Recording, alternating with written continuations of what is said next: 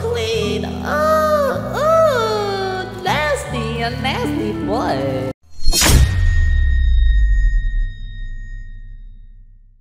Yo, what's going on guys? It's your boy Fatal King here, back at again with a brand new video, and today I'm going to be showing you guys how to get stretch resolution on Fortnite with a AMD graphics card. If you guys have an AMD graphics card, this video will work for you. If you do not, I will leave a link in the description for you NVIDIA users. I will leave two video links for you guys if you have those kind of cards and it will help you out with stretch resolution. Now, without further ado, let's get straight into the video. All right, you guys, so the very first thing we're to do is go to your left-hand side where it says type here to search. Go up in here, go to percent local app data percent, click enter now these will all pop up. Go to your Fortnite game, go to saved, go to config, go to Windows client, and game user settings will pop up. Don't go ahead and click right in there yet.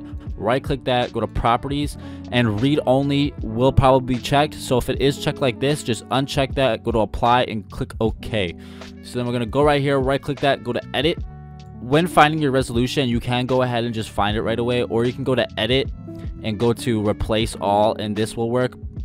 But for the resolutions, I will leave on the screen for you guys.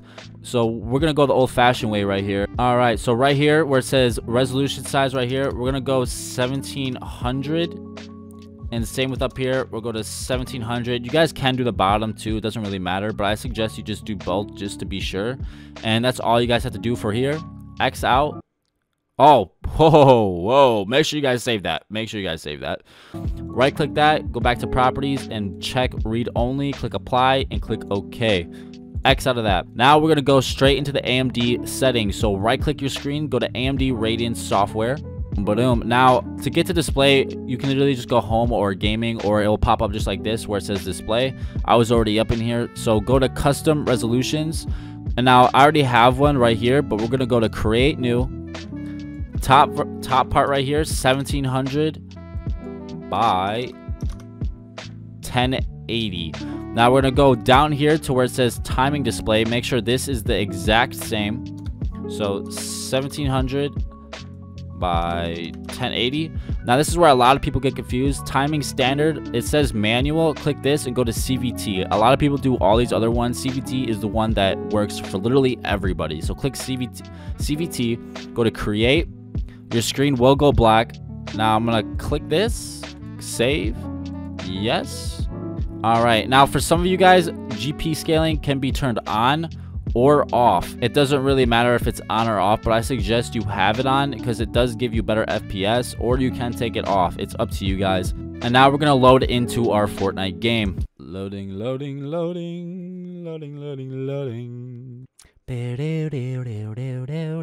And now you can see the blurred, right? Stretch res, huh? Ah, you like that? You like that? Ooh, sunny, sunny, sunny.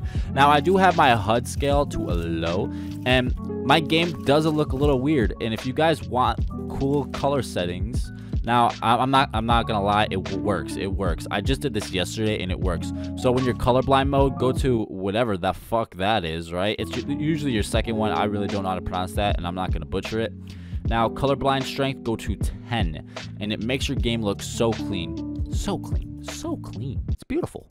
It's just beautiful. It's so beautiful. Alright, you guys, that's all I have for you guys for today. If it did work for you, please drop a like and subscribe if you guys are new. If it did not work for you, please comment down below and I will actually make more videos for you guys if you are using an AMD graphics card. Again, NVIDIA videos will be down in the description for you guys. When I do stream on Twitch and I have a Discord server that is running with a great community. Links are also in the description. But that's all I have. Adios, you guys. Peace out.